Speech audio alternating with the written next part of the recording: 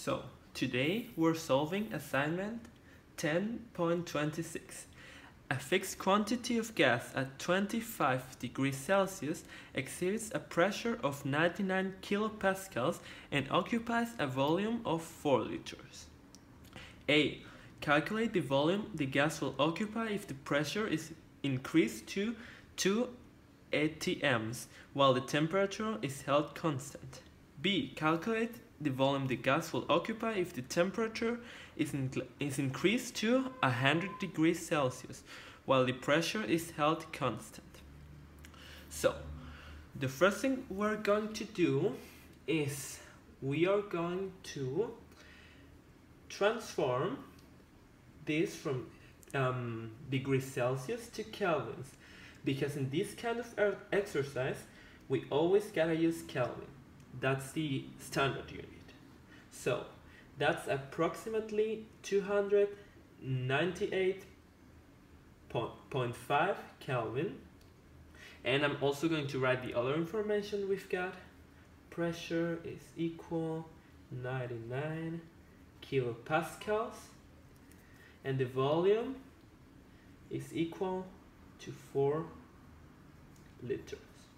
So, A we have two ATMs and ATMs it's a is another type of unit for pressure.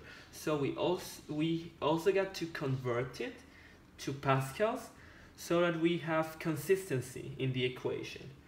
So two ATMs are equal to 2 point um, 202.65 kilopascals.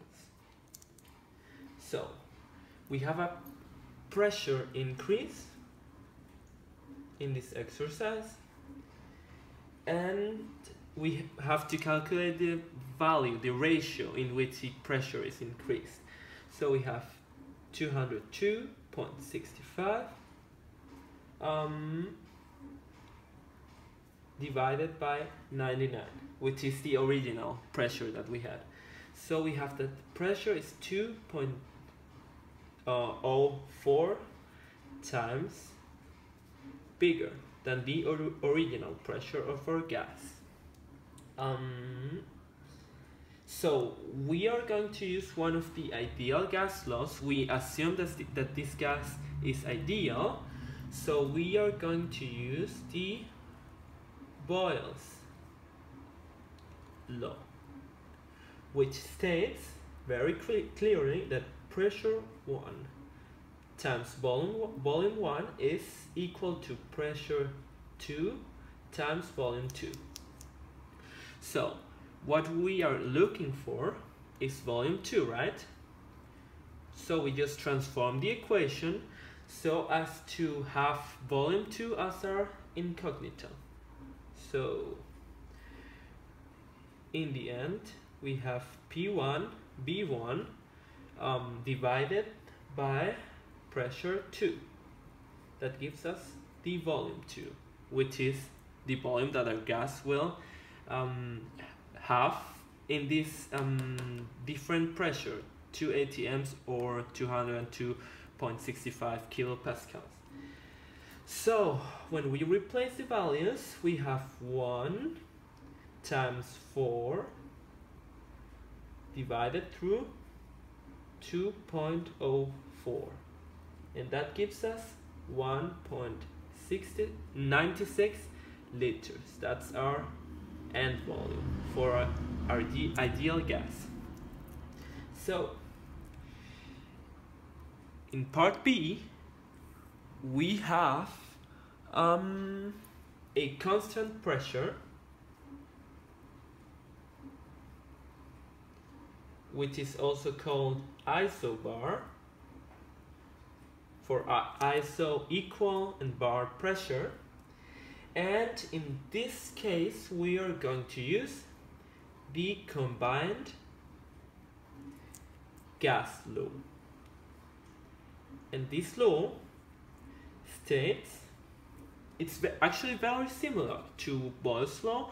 It just includes the temperature in this case So we have P1, V1 divided by T1 is equal to P2, I'm sorry, 2, T2 divided by, uh, I'm sorry, V2, that is a V divided by T2. So, um, since pressure is constant, since pressure is constant, we can just simply cross it off. We can cross it off. Off, sorry, two F's. Um, so, when we cross off um, the pressure, we get V1 times T2 divided by T1 gives us V2, which is in this case also the volume we're looking for. So, when we replace the values, we have 4.00 liters times three, 373.5 Kelvin um, which is uh, I'm sorry I didn't convert it before but we have um, that the temperature 2 is equal to um, 100 degrees Celsius. And we, when we convert that to Kelvin we obtain 330 um, 73.5 kelvins divided by temperature 1 which is 298.5 Kelvin which we have from um, from the beginning of the exercise here so um, that's right and then we get that our volume 2 our volume 2 is equal to 5.01 liters. So that's the volume it, our gas will occupy um, when the temperature is increased. So we can see the relation here. We see that when the temperature is increased, the gas volume is also increased. But when our pressure increases, the volume decreases. So that means that when the temperature is bigger, as, as it increases, our gas will get um, um, compressed. So the volume will naturally get um, smaller. But here, as the temperature grows bigger, the gas will slowly dilate and the volume will get bigger. So that's it.